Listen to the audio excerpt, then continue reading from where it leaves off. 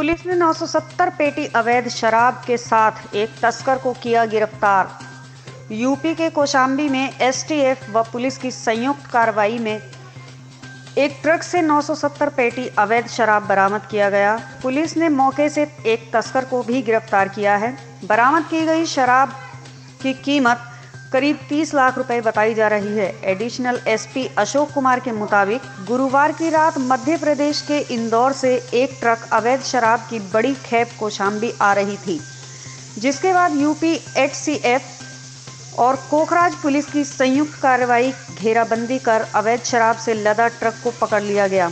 Police की तलाशी के दौरान ट्रक से 970 पेटी गैर प्रांत की अवैध देशी शराब बरामद की गई।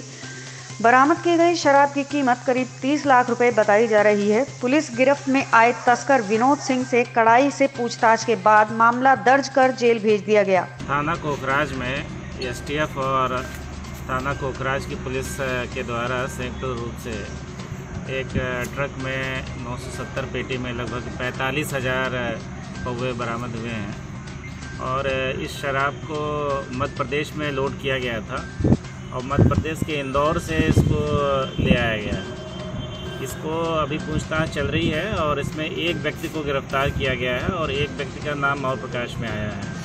आगे भी इसमें और पूछताछ कर प्रयास किया जा रहा है कि अधिक से अधिक बरामदगी हो। जो मुलजिम पकड़ा गया पिछले कई बार और पिछले भी पकड़ा जा चुका है क्या इस जो व्यक्ति गिरफ़्तार हुआ है वो बताया जा रहा है कि दो बार पहले भी जेल जा चुका है। इसका वेरिफिकेशन हम लोग करा रहे हैं।